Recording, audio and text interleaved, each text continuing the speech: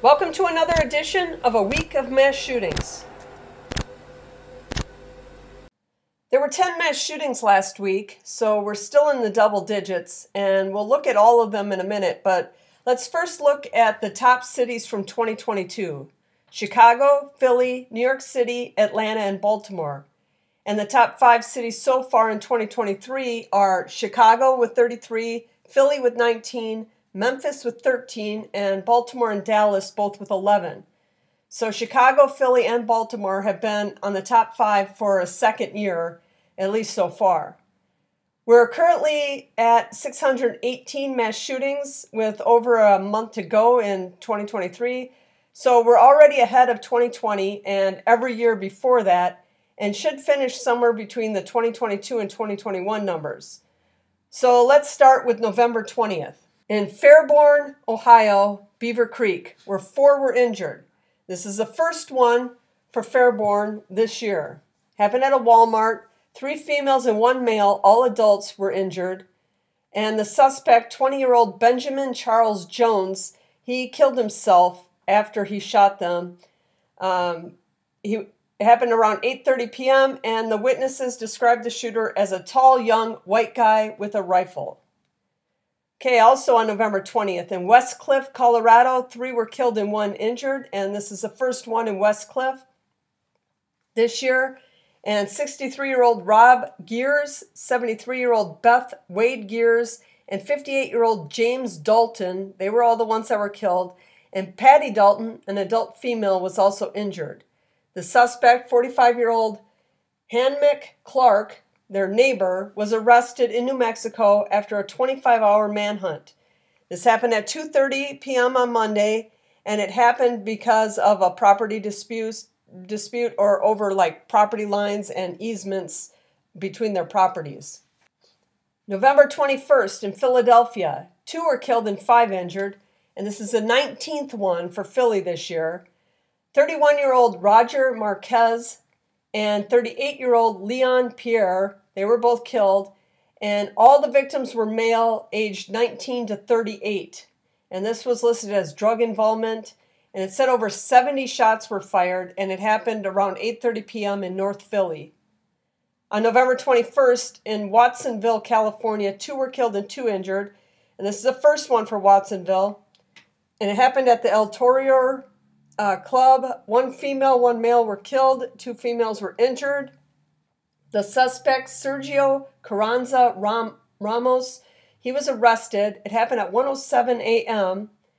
And Ramos turned himself in at 8:07 p.m. that night and was charged with two counts of murder. And if you notice, again, this one had a lot of females in it, and we're getting a lot of that lately, where where a lot of females are being involved in this stuff. And also notice that, that again, that one was the first, and you'll see how many first cities that had their first ones we have this week. November 22nd in Goodman, Mississippi, one was killed and three were injured. This is the first one for Goodman. 17 year old Clyzavion Landfair was the one that was killed. And it was a drive by that happened that happened around noon, and 50 to 60 shots were fired. Also on November 22nd, in Lumberton, North Carolina, six were injured, and this is again the first one for Lumberton. Happened at Adello's Restaurant and Bar. Four adult females and two adult males were the ones injured. Happened 11:45 p.m. and shots were fired into the restaurant through the back wall. So this was indiscriminate fire. They don't know that if any of the people that were hit were actually the target of the shooting. November 23rd in Chicago. This is the 33rd one for Chicago this year. Five were injured. All males aged 15 to 18, and this one was a drive-by, and the victims were standing on the sidewalk when they were shot, and it was it happened just after midnight. It happened on near West Side, which 2% of Chicago's homicides uh, happen in this neighborhood. So it's a it's a bad neighborhood, but it's not definitely not one of the worst in Chicago. The victims were leaving a concert at the United Center, and the last mass shooting in Chicago was on October 29th. And there was one, they actually had them in back to back days, 28th and 29th. So it's been almost a month since their last mass shooting. And I talk about this stuff a lot about some of this being suspect um, Chicago going nearly a month without a mass shooting. You can believe that they went almost a month without a mass shooting, or maybe some of the mass shootings were not reported. Okay, again on November 23rd in Decatur, Georgia, four were injured. And this is the third one for Decatur. This one was also a drive by. The victims were aged 37 to 57, and over 100 rounds were fired into a house. And it happened around 3 a.m. There were other people in the house at the time that did not get struck by gunfire. On November 23rd in Memphis, Tennessee, four were injured. This is the 13th one for Memphis. All adults, three female and one male. Again, more females than males. Happened at 9:30 p.m. and two suspects ran from the area leaving a stolen vehicle behind. And this was the fourth shooting to occur in Memphis on Thanksgiving. So Memphis Thanksgiving Day was a bad day for Memphis as far as shootings in general go and again getting their 13th mass shooting of the year. There were no mass shootings on the 24th and 25th. And if you follow my channel a lot and watch these mass shooting videos, you know that it's kind of rare for us to go two days without a mass shooting. So that's kind of rare. It's getting colder out, so it's going to become a little more common, but it's still very rare to go two days in a row without a mass shooting.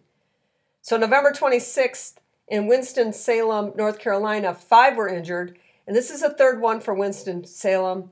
Uh, happened at Spot Bar and Lounge around 2:30 a.m. and a 23-year-old female of the of those injured, the 23-year-old female has life-threatening injuries. So if you noticed how many of the mass shootings were their first one, there was one, two, three, four, five of the ten. It was their first one of the year for that city. And I bet if I looked back on last year, I bet it was their first one. I bet they didn't even have one in those cities last year either.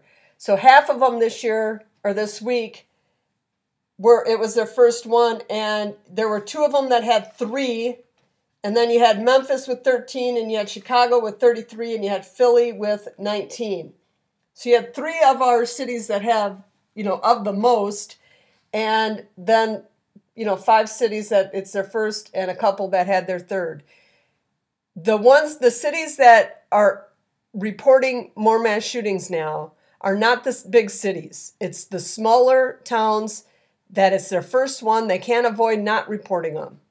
And I think the because of the way the year started, if and again, if you've been following this, you've heard me say this before, because of the way this all started, this year, we were so far ahead of the 2021 record breaking 690 pace that it wasn't even funny. And then suddenly everything just dropped off for a few weeks where nothing was hardly being reported. And now, since then, it's basically just the cities that are reporting their first one where they can't hide it, and cities that are having them in areas of town that you can't hide it. So I'm not saying that the numbers are being smudged and that these things are, they're not reporting everything properly, but it kind of looks that way. Either way, we're going to finish this year with the second highest mass shooting numbers that we've ever had. Uh, we were on pace to go over 700 easy, and 690 in 2021 was the record. And we're going to be, you know, up near that probably by the end of December, depending on how these things um, continue to get reported. This is a weekly video, so if you like this type of content, hit that like button, leave your thoughts in the comments, and consider subscribing. And I'll catch you next week.